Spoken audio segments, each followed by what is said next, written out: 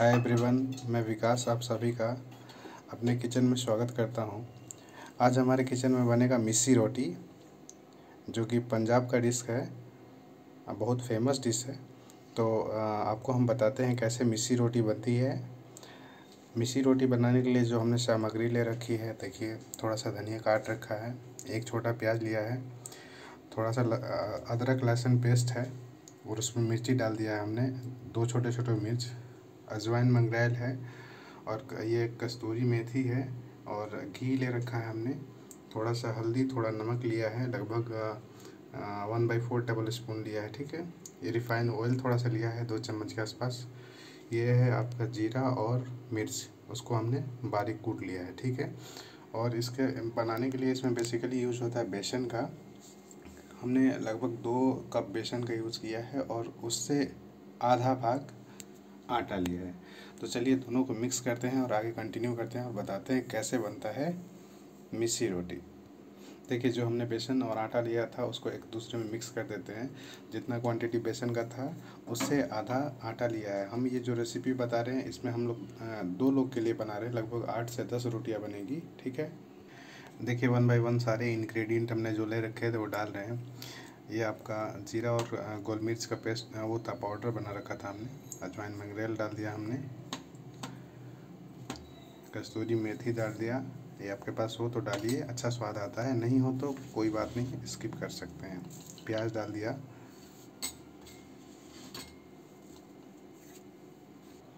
जो धनिया को हमने काट के रखा था, धनिया, हरी धनिया है वो डाल दिया हमने। और one by four tablespoon दोनों लिए थे हल्दी और नमक दोनों एक साथ डाल दिए। लगभग दो चम्मच के आसपास जो हमने रिफाइन ऑयल लिया था वो डाल दिया हमने, ठीक है? अब इसको अच्छे तरीके से पहले मिक्स करेंगे, उसके बाद फिर इसका आटा बनाएँगे। देखिए, ये जो ये एक जो अपना अदरक लहसुन का पेस्ट था वो भी डाल दिया अभी लास्ट में। मिसी रोटी का जो ओरिजिन माना जाता है, वो पंजाब का है। लेकिन जो जानते हैं, जो इसका स्वाद ले चुके हैं, वो लोग अपने घरों में बनाते हैं और इंडिया के ऑलमोस्ट सभी रीजन में ये बनता है। बहुत ही स्वादिष्ट होता है। आप एक बार ट्राई कीजिए, हम आपको बता रहे हैं कैसे बनता है। फिर उसके बाद आप कमेंट में बताइएगा हमने जो हमने आपको बताया डिश वो कैसा लगा आपको खाने में। देखिए, लगभग एक मिनट के लगभग हो चुके हैं हमें इसको मिलाते हुए। अब इसमें थोड़ा थोड़ा पानी डालते जाएँगे और आटा गूंदना प्रोसेस शुरू करेंगे आटा गूंदने का। देखिए, थोड़ा पानी डाला है। तो चलिए, पूरा आटा गूंद देते हैं। इसका आटा ना ही बिल्कुल टाइट होना चाहिए और ना ही बिल्कुल लूज। मतलब थोड़ा सा टाइट होना चाहिए। लूज तो बिल्कुल नहीं होना चाहिए। नॉर्मल जैसे रोटी बनाते हैं, वैसा नहीं होना चाहिए। ठीक है? लिट्टी आपने अगर खाया होगा तो उस टाइप का आटा इसका बनाना है। उससे थोड़ा सा सॉफ्ट बनाना है। देखिए, हमारा जो आटा है, बिल्कुल रेडी हो चुका है। इसमें इसको आटा आटा गूँथने में थोड़ा समस्या आता है तो इसमें थोड़ा सा मेहनत ज़्यादा लगेगा आपका। आप रिफाइन ऑयल का यूज़ कीजिए अगर हाथों में चिपके तो। ठीक है तो हमने बना के रेडी कर दिया। अब आगे का प्रोसेस कंटिन्यू करते हैं। इसको लगभग दस मिनट तक छोड़ते हैं ऐसे ही, उसके बाद ही आगे कंटिन्यू करेंगे। तो चलिए, इसको ढक देते दस मिनट के लिए। तो देखिए, लगभग पंद्रह मिनट हो चुका सॉरी पंद्रह मिनट हो चुका है और जो मिसी रोटी के लिए हमने आटा लगा रखा था, वो बिल्कुल सेट हो चुका है। अब इसको जो ढक्कन है, वो हटाते हैं और रोटी बनाना स्टार्ट करते हैं। तो देख सकते हैं, बिल्कुल तैयार है। तो चलिए रोटी बनाते हैं और आगे कंटिन्यू करते हैं। देखिए, हमने तवा चढ़ा रखा है गैस पे। गैस को ऑन कर दिया। देखिए छोटा छोटा हम लोई बनाना स्टार्ट कर दिए हैं। आप लोई लोई मीड मतलब मीडियम साइज़ में रखिएगा। आप बड़ा बनाना चाह रहे हैं अब आपका तवा अगर बड़ा है तो आप बड़ा भी बना सकते हैं, उसमें कोई दिक्कत वाली बात नहीं है।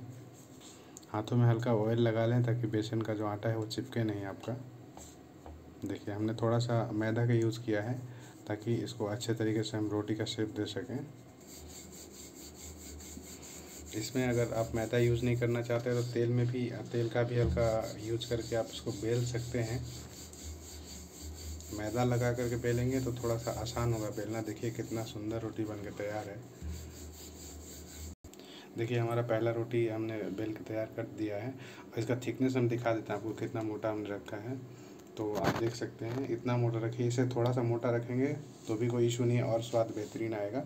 तो चलिए इसको आप पकाते हैं और मिसी रोटी तैयार कर तवा हमारा बिल्कुल हीट हो चुका है। हमने फ्लेम मीडियम रखा है। मीडियम पे ही पकाएँगे। मिसी रोटी आप दो चीज़ों में पका सकते हैं। एक तो अपना अगर घर में तवा है तो उस पर पका सकते हैं। अगर आपके पास जो बाटी वाला ओवन आता है गोल सा, वो बेसिकली राजस्थान में ज़्यादा फ़ेमस है, राजस्थान में ज़्यादा मिलता है। तो अगर आपके पास वो हो तो वो उसमें भी पका सकते हैं। और आपका जो क्वांटिटी ज़्यादा हो, अगर जैसे होटलों में आप देखते होंगे तो बड़ा सा ड्राम वाला ओवन रहता है, उसमें भी आप बना सकते हैं। उसमें और अच्छा आता है स्वाद। क्योंकि उसमें सौंधा सौंधा जो मिट्टी लगा रहता है, अंदर उसका स्वाद आता है तो और बेहतरीन लगता है। देखिए, हमारा एक साइड का रोटी बिल्कुल पक चुका है। अब इसको हम पलट के दूसरे साइड का सेकेंगे। आप देख सकते हैं, कितना सुंदर लग रहा है, बिल्कुल। जब दूसरे साइड का हल्का सा सीख जाएगा तो इसमें बटर का यूज़ कर सकते हैं आप, या फिर रिफाइन ऑयल का यूज़ कर सकते हैं, या फिर देसी घी का यूज़ कर सकते हैं। आपके पास जो अवेलेबल है किचन में, वही यूज़ कीजिए। देखिए, हम देसी घी का यूज़ कर रहे हैं। एक साइड भी दूसरा साइड भी अच्छे तरीके से लगभग पक चुका है। अब देसी घी लगाते जाएँगे और उसको रोटेट करते जाएँगे अच्छे तरीके से। दोनों साइड देसी घी लगा करके सेकेंगे इसको। जब बिल्कुल हल्का हल्का रेडपन आ जाएगा तो समझ लीजिए आपका मिसी रोटी तैयार है। एक ऐसा रोटी है जो बिल्कुल पौष्टिक होता है, क्योंकि प्योर चने का होता है बेसन। आप सोच सकते हैं। और खाने में इतना टेस्टी होता है कि आप सोच ही नहीं सकते। आप बना के एक बार देखिए अपने किचन में, देखिए क्या सुंदर कलर आया है। हम इसमें घी का लेप लगा रहे हैं दोनों साइड में। थोड़ा सा मेहनत वाला प्रोसेस है, लेकिन एक बार ट्राई करेंगे तो आपको लगेगा कि कितना अच्छा बना है। आप देख पा रहे हो, बिल्कुल पक के तैयार है और कितना सुंदर लग रहा है देखने में। जितना सुंदर देखने में है, उतना अच्छा खाने में भी लगता है। तो आप देख सकते हैं, एक हमारा रोटी बिल्कुल तैयार है। अब दूसरा वाला बनाते हैं। सेम प्रोसेस है, देखिए दूसरा भी हमने रोटी बेल रखा है।